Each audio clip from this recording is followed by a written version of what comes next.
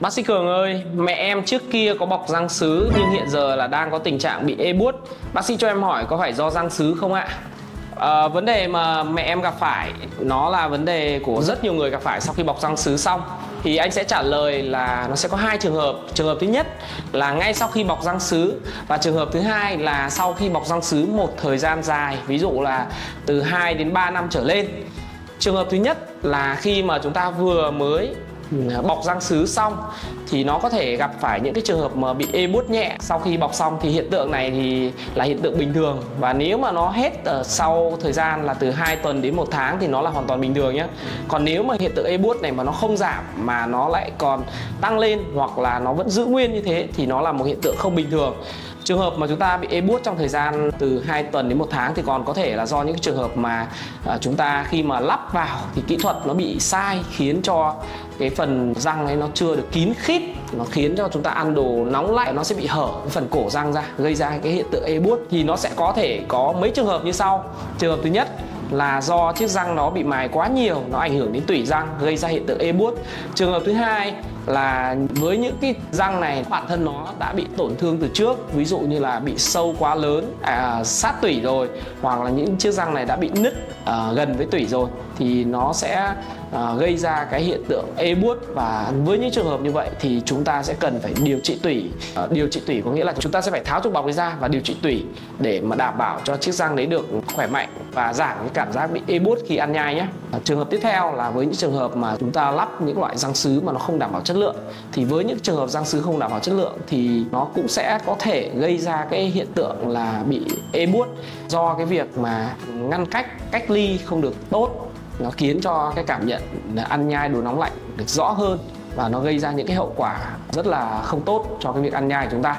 Ngoài ra thì nó còn có thể là do những cái trường hợp mà bị viêm lợi, viêm nha chu. Khi mà vừa lắp xong thì cái phần lợi nha chu nó bị viêm thì nó cũng sẽ gây ra cái hiện tượng hở phần cổ răng ở phía dưới. Nó gây ra hiện tượng ê các bạn nhé. Và đây đều là những cái nguyên nhân mà chúng ta có thể khắc phục được luôn và khắc phục được ngay sau khi mà tái khám một tháng ở nha khoa bác sĩ cường thì bác sĩ sẽ có cái chỉ định là các bạn sẽ được tái khám một tháng 3 tháng 6 tháng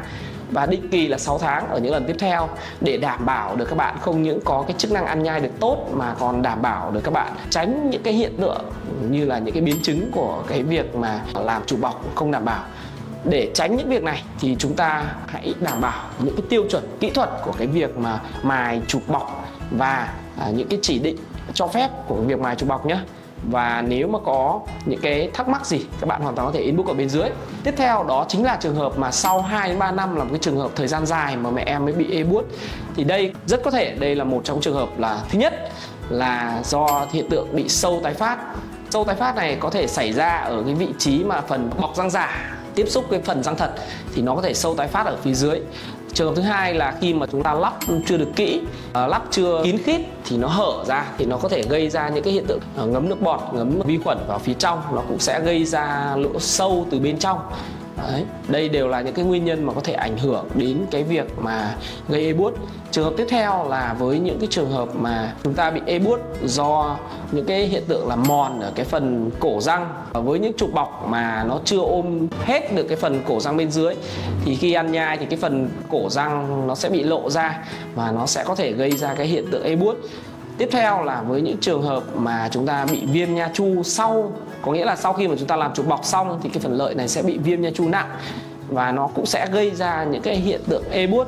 Ngoài ra thì có thể có những cái hiện tượng, ví dụ như chúng ta bị nghiến răng, chúng ta bị nứt ở phía bên trong thì nó đều có thể gây ra hiện tượng là bị ê buốt răng. Nặng hơn thì có thể gây đau nhức và có thể là gây lung lay răng và gây nứt vỡ gãy của cái chiếc trục bọc, chiếc răng đó. Vậy nên là lời khuyên của anh với mẹ em đó chính là nên đưa mẹ đi khám và chụp phim sớm để phát hiện xem là cái nguyên nhân của cái việc mà bị ờ, ê bút răng như vậy là do yếu tố gì nhé. Và nếu mà em có bất kỳ câu hỏi gì